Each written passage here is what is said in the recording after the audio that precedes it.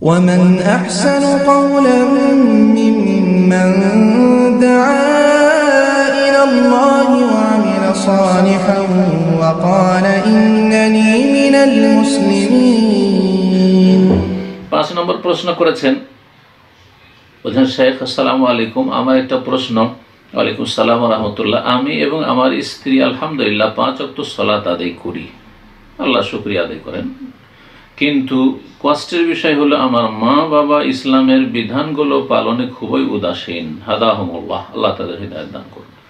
তারা পাঁচ অক্ট সালাত আদায় করে না। বাবা বছরে দুই একবার জুমার সালাত পড়ে আর ঈদের সালাত পড়ে। আর মা শুধু রমজানে এক দুই দিন সালাত আদায় করে। আমি তাদের অনেক বুঝিয়েছি এবং বুঝাচ্ছি। আমি আমার বাবার সাথে আমাদের একটা ছোট খাবার হোটেল চালাই সেই হোটেলে ব্যাংক থেকে অনেক ঋণ নেওয়া আছে। আমি তাকে অনেকবার নিষেধ করেছি, কিন্তু শোনেনি, বরং আমাকে ঋণের সময় বাধ্য হয়ে সই দিতে হয়েছে।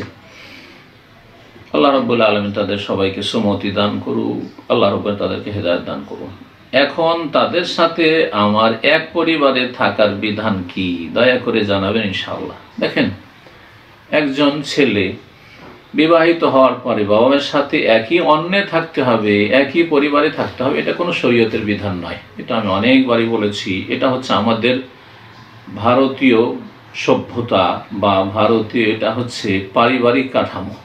যে একই অন্যে থাকতে হবে, একসাথে খাওয়া দাওয়া করতে হবে, আর একই সাথে এমনকি একাকার হয়ে পাঁচ ভাই, পাঁচ ভাইয়ের বউ, এক অপরের বউকে দেখছে, কোনো পর্দানে পর্দার বারোটা বাজিয়ে দিচ্ছে।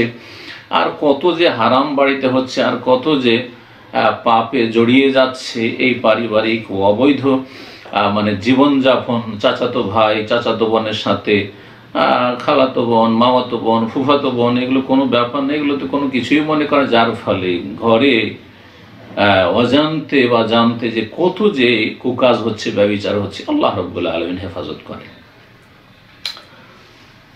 তো এই সিস্টেমটা কোনো ইসলামী সিস্টেম না।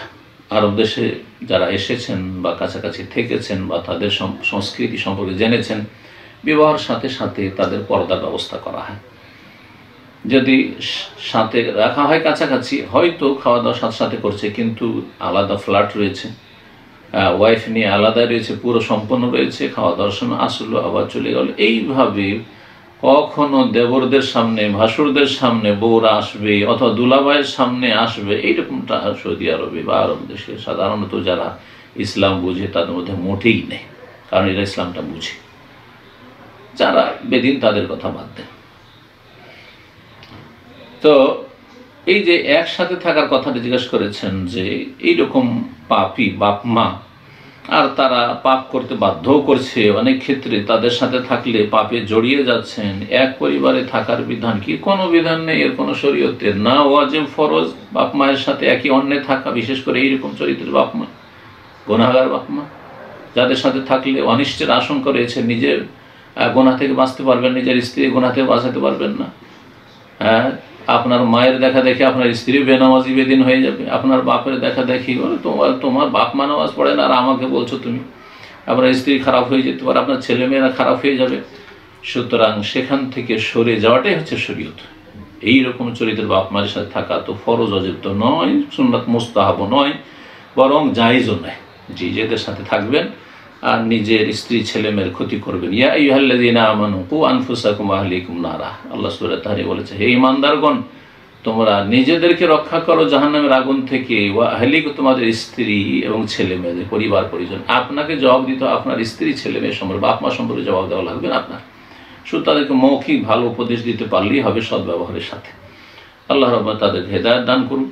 আপনি নিজেকে সুরক্ষিত করে নিজের স্ত্রী ছেলে মেয়েকে সুরক্ষিত রেখে আপনার বাপ মাকে হেদায়তের চেষ্টা করবেন, তাহলে এই ক্ষেত্রে দূরত্ব বজায় রেখে আপনি তাদেরকে হেদায়তের চেষ্টা করবেন, একাকার হয়ে নয়।